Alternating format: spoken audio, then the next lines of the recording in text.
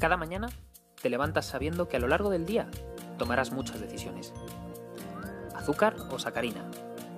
Bus o metro. Me callo o le contesto. Siempre acabas preguntándote si has hecho o has elegido bien. Lo que pocas veces nos cuentan es que hay una decisión que tomamos mucho antes de empezar el día. Una decisión que de manera inconsciente marcará el devenir del resto de nuestra día. Una decisión aparentemente sin pregunta. Aparentemente.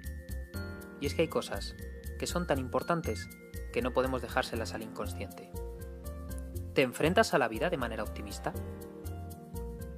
Sí, sé lo que estás pensando, pero déjame primero que te cuente que el optimismo es una palabra muy maltratada hoy en día, a la que no dejan de aparecerle monstruos que lo afean. Por eso, no hablaremos de optimismo, sino de optimismo inteligente. Empecemos aclarando qué es y qué no es el optimismo inteligente.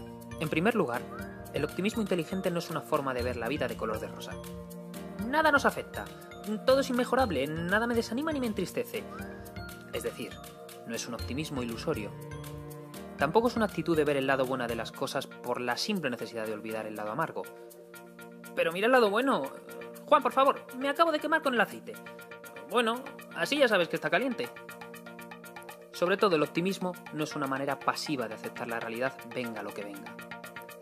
Lo que un optimista hace es mirar al mundo esté como esté, pero con la confianza y convicción de que ese mundo, esa realidad, puede mejorar. El optimismo inteligente es una actitud. Por tanto, un optimista jamás niega la realidad. Todo lo contrario, acepta esa realidad, pero elige el optimismo como actitud para enfrentarse a ella.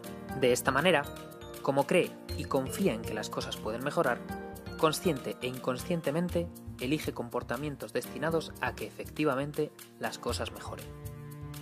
Esa es una de las claves del optimismo inteligente, que es una actitud de acción.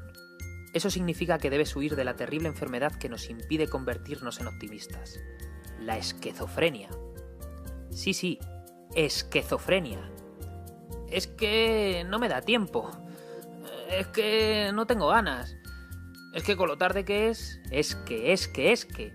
El es que es parálisis pura y el mayor freno a la acción y por tanto al optimismo. Muévete, no te quedes quieto. Tienes que cambiar los es que por los tengo que. Es que no me da tiempo. Tengo que hacerlo mañana. No permitas que tus palabras encadenen tus acciones. Para ser un verdadero optimista, tienes que hacer. Si te das cuenta, el camino es sencillo. Cree que las cosas pueden mejorar. Eso te llevará a confiar en que las cosas van a mejorar. De esta manera, desarrollarás comportamientos para mejorar las cosas. Y así, generarás oportunidades de que las cosas mejoren. Por eso el optimismo no es solo una actitud para enfrentar la realidad en el presente, sino para asegurar mayor felicidad en el futuro. El optimismo es invertir en felicidad. El optimismo es una actitud de acción y también de cambio. Básicamente existen tres actitudes frente al cambio. Tenemos a los dinosaurios, resistentes a cualquier tipo de cambio, pero que tarde o temprano se extinguen. También tenemos a los camaleones, adaptativos por naturaleza a cualquier paisaje, situación o entorno. Y por último, tenemos a los gusanos, motores del cambio. Seres capaces de sufrir y tras estar encerrados en una maraña sin ver nada, impulsar el cambio en sí mismos con el fin de mejorar su situación inicial. Jamás podrás ser un dinosaurio si quieres convertirte en un optimista. Si confías en mejorar las cosas y generas situaciones para ello, no puedes negar la necesidad de cambiar. El optimismo, por definición, te exige ser un gusano que impulsa el cambio, o al menos un camaleón adaptándote a él. Por último, el optimismo inteligente es una obligación ética. En el momento que niegas el optimismo, niegas la posibilidad de que las cosas puedan mejorar, frenando las acciones enfocadas a ello. Pero no solo eso, sino que si asumes que las cosas no pueden mejorar, le estarás negando la posibilidad a otros de mejorar una situación que posiblemente sea peor que la tuya. No se trata de compararte con otros, sino de no negarte y por tanto no negarle al mundo la posibilidad de mejorar.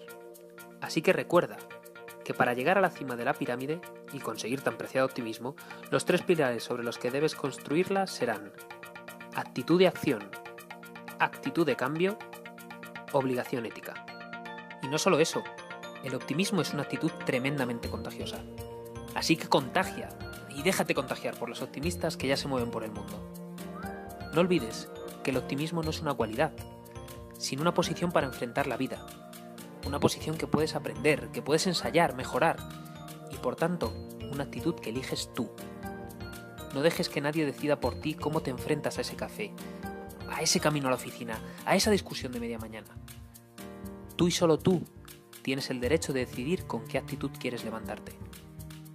Al fin y al cabo, la vida puedes jugarla a ganar o a no perder. Tú decides. ¿Te sumas al bando optimista?